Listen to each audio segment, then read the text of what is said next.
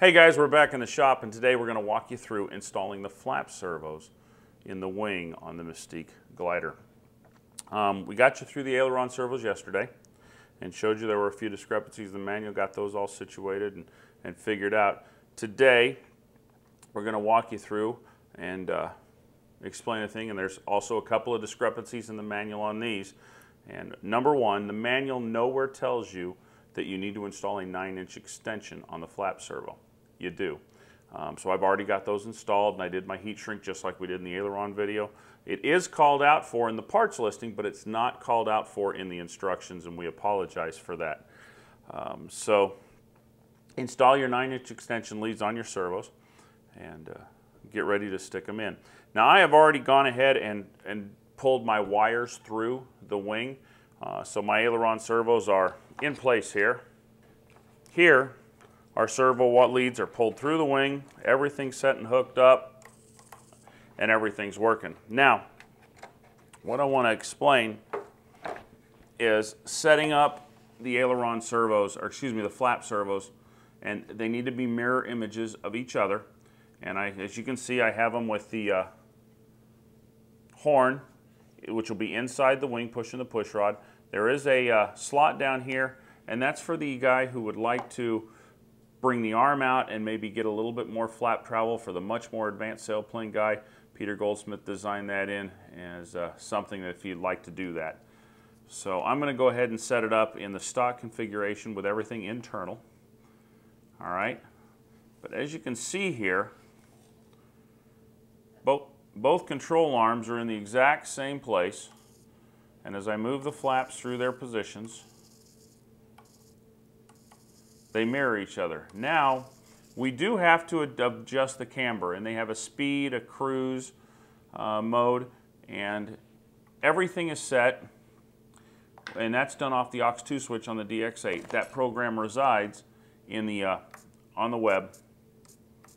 So with the AUX2 switch in the middle position, which is the cruise position, that's where you set your flaps up to and they should be neutral with the ailerons. Then as I move up in, as I move the AUX2 switch up to the zero position on the transmitter, that is the speed position, and it drives the servos up just a, just a bit, which drives the flaps up, adding reflex to the airfoil, which uh, a little bit faster, a little bit more efficient for penetrating um, the, uh, the model in high winds.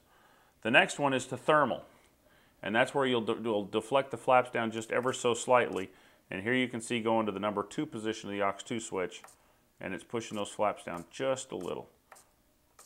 And then of course the flaps, the mid-rate, and then the landing is 25 to, it goes all the way down and pushes them there. So have the basic setup done. What we're gonna do now is I'm gonna go ahead and show you the mods I had to do to the wing and they're very easy, take just a couple of minutes.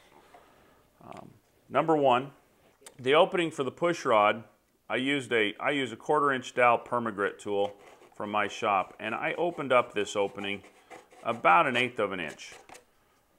So you can see I've just opened it up a little bit. The other part is the trailing edge. I came through and sanded it away to where you can see the wood is kind of uh, now angled in and out of the way uh, from the push rod. It's just a little bit cleaner situation. Now we're able to go ahead and install our servo on our push rod. Stuff won't bind and everything's going to work. So I'm going to flip it over. Now I hook the push rod up to the servo. And then just drop the push rod down inside the wing. Comes out the other side my little bucket of screws. I'm going to screw the servo cover in place with two screws for right now. I'll flip it over. I am going to unplug this wing, move it out of the way.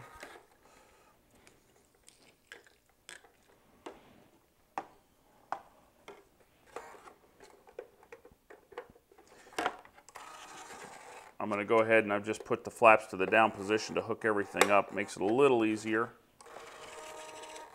And my flap doesn't come up enough. So I'm going to undo and I'm going to adjust that clevis a bit.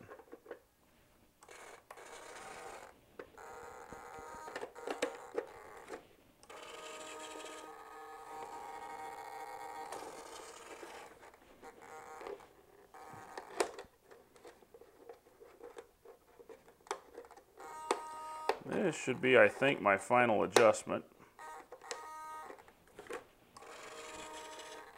So now I have my flaps done and they're hooked up, they're neutral with the aileron, and I'm in the flap up position.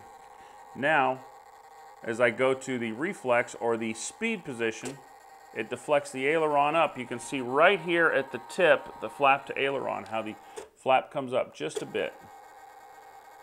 And then go into the thermal, it comes down just a bit. This is all done through a mix uh, through the aux2 switch. And then I have the flaps for landing, as we can see. So those are our initial setups. And as you fly the model, you're going to go ahead and you may adjust the amount of reflex for speed and the amount of it, uh, the camber for, for the thermal position for the best operation due to the CG you have the glider set at. Um, and whatever your flight style is set for. But now we're going to sit down and we're going to tighten up the little jam nut on that clevis.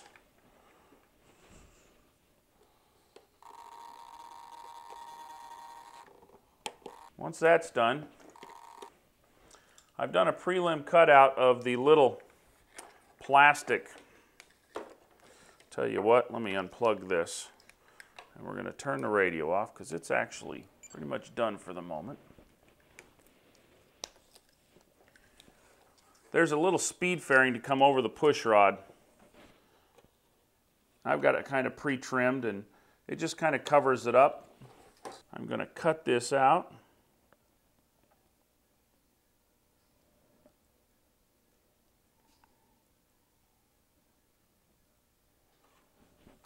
And this comes over and it kind of covers up that hole and just kind of builds a little speed fairing.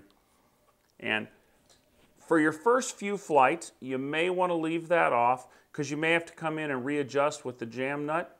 And just until you, are sure that that linkage is all set and perfect, go ahead, pre-trim them, put them back in your little parts box, and save them until you've, you've got everything dialed in. Once it is, they come on and it's just a couple, you, you hold it in place and like three small drops of thin CA, it's on there, it's done, it's good, and your model's all cleaned up and looking great. There are four of those provided, one for each aileron, one for each flap.